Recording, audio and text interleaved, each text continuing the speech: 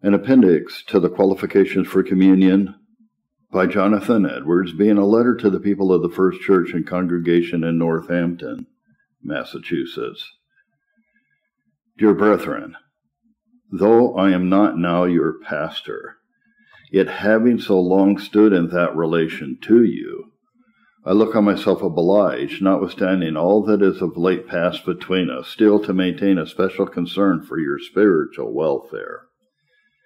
And as your present circumstances appear to me very evidently attended with some peculiar dangers, threatening the great wounding of the interest of vital religion among you,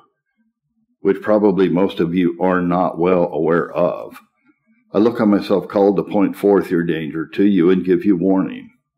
What I now especially have respect to is the danger I apprehend you are in from the contents of that book of Mr. Solomon Williams of Lebanon, to which the foregoing performance is a reply, which I perceive has been written and published very much by your procurement, and at your expense and so it may naturally be supposed and expected is dispersed in your families and will be valued and much used by you as a book of great importance. What I regard is not so much the danger you are in of being established by that book in your former principles concerning the admission of members, though I think these principles are indeed very opposite to the interests of true piety in churches. But what I now mean is the danger there is that while you are making much of that book as a means to maintain Solomon Stoddard's doctrine concerning the terms of communion, you, and especially your children, will by the contents of it be led quite off from other religious principles and doctrines, which Mr. Stoddard brought you up in, and always esteemed of as vastly greater importance than his particular tenet about the Lord's Supper and be naturally led into notions and principles which he ever esteemed as of fatal tendency to the souls of men. By the way, I would have observed that when I take notice of these things in his book, my aim is not to be getting you an ill opinion of Mr. Williams, as though he were as corrupt in his settled persuasion as one would be ready to think, if he were to judge only by things delivered in some parts of this book and especially if it should be supposed that he embrace all the consequences of what he here maintains. Men often do not see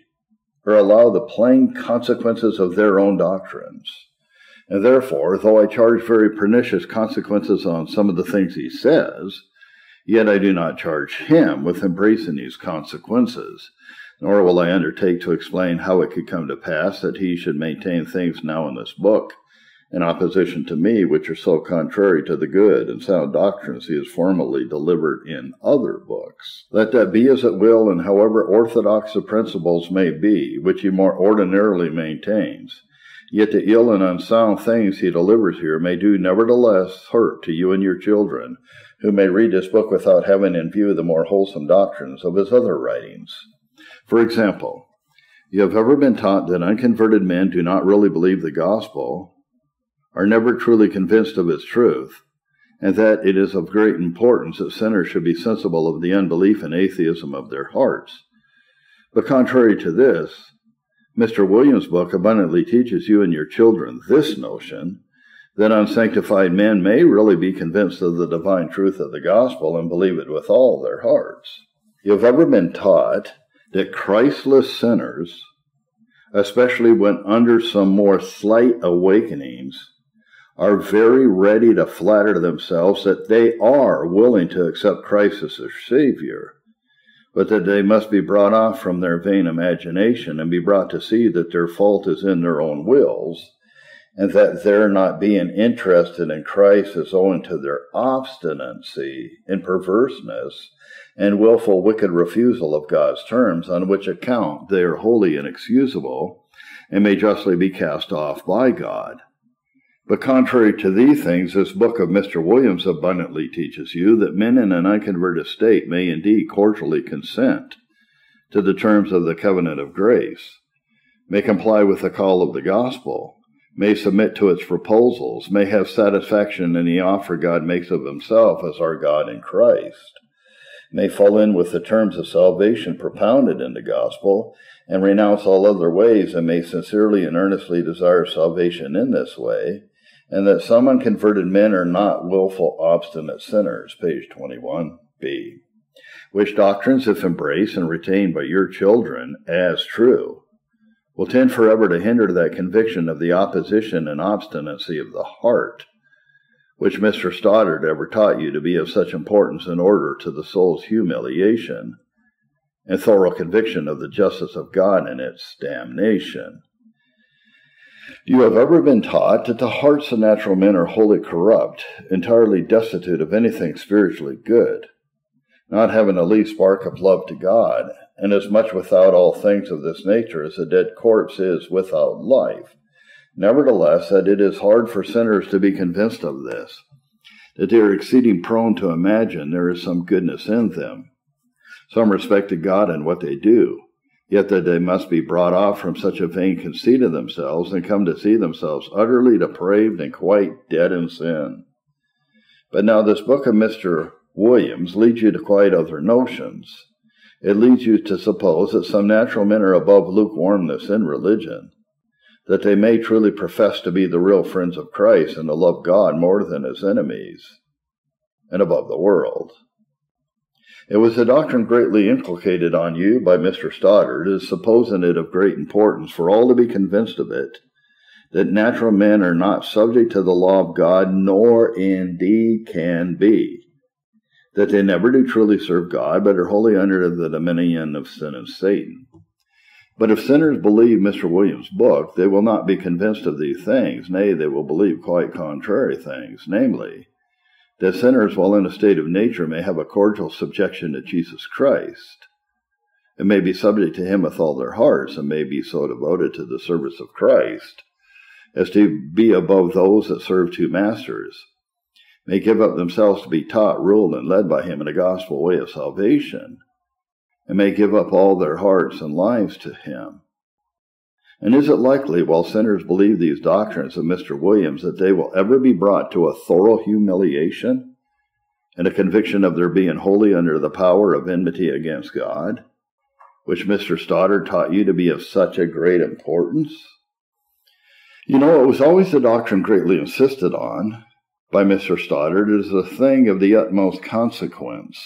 that sinners who were seeking converting grace should be thoroughly sensible of God's being under no manner of obligation from any desires, labors, or endeavors of theirs to bestow his grace upon them, either in justice or truth or any other way,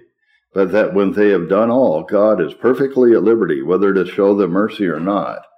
that they are wholly in the hands of God's sovereignty. See Solomon Stoddard's Guide to Christ, page 75. Whereas if a sinner seeking salvation believe Mr. Williams' book,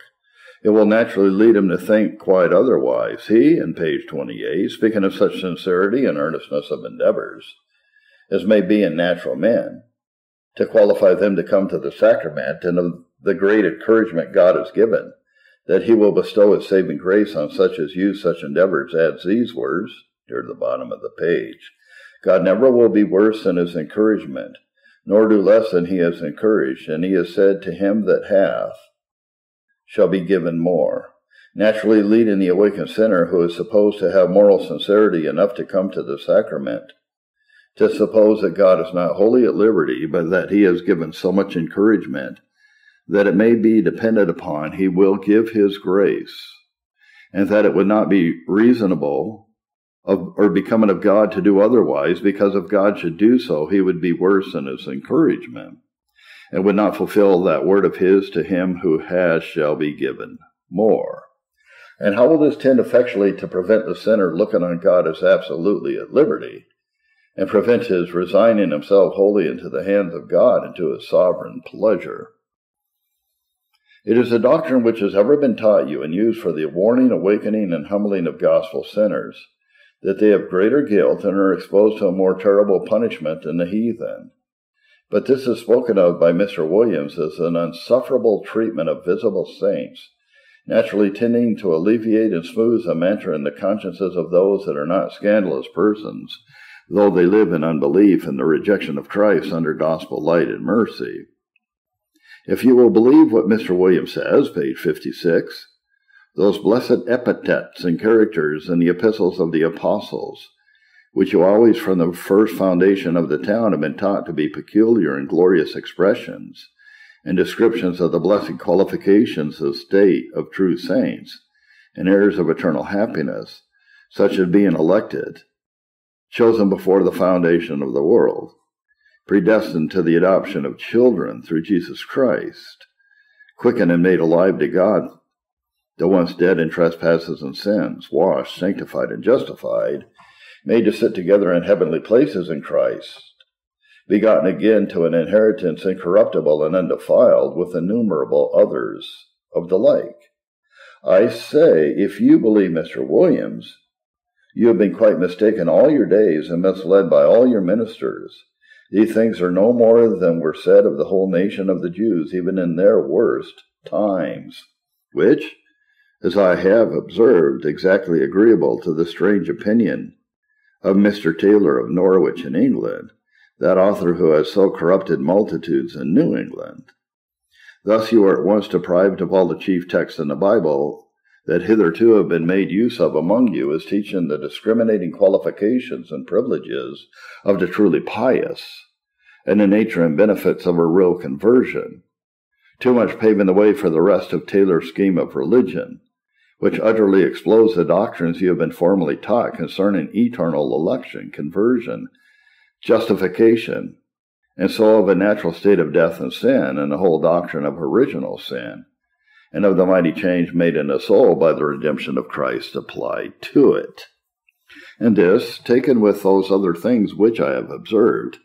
in conjunction with some other things which have lately appeared in Northampton, tend to lead the young people among you apace into a liking to the new fashionable lax schemes of divinity, which has so greatly prevailed in New England of late, as wide as the East is from the West, from those great principles of religion which have always been taught and have been embraced and esteemed most precious, and have justly been accounted very much your glory by others. If this book of Mr. Williams with all these things is made much of by you, and recommended to your children as of great importance to defend the principles of the town, how far has your zeal for that one tenet respecting natural men's right to the Lord's Supper transported you and made you forget your value and concern for the most precious and important doctrines of Jesus Christ, taught you by Solomon Stoddard, which do most nearly concern the very vitals of religion. I beseech you, brethren, seasonably to consider how dark the cloud is that hangs over you, and how melancholy the prospect, especially with regard to the rising generation, in many respects. I have long been intimately acquainted with your religious circumstances, your notions and principles, your advantages and dangers, having had perhaps greater opportunity for it than any other person on earth. Before I left you, it was very evident that Arminianism and other loose notions in religion, and Mr. Taylor's in particular, began to get some footing among you. And there were some things special in your circumstances that threatened a great prevailing of such like notions which, if they should by degrees generally prevail, will doubtless by degrees put an end to what used to be called saving religion. Therefore, let me entreat you to take the friendly warning I now give you, and stand on your guard against the encroaching evil. If you are not inclined to hearken to me from any remaining affection to one whose voice and counsels you once heard with joy, and yielded to with great alacrity, Yet let me desire you not to refuse, as you would act the part of friends to yourselves and your dear children. I am, dear brethren, he who was once, as I hope through grace, your faithful pastor and devoted servant for Jesus' sake, Jonathan Edwards.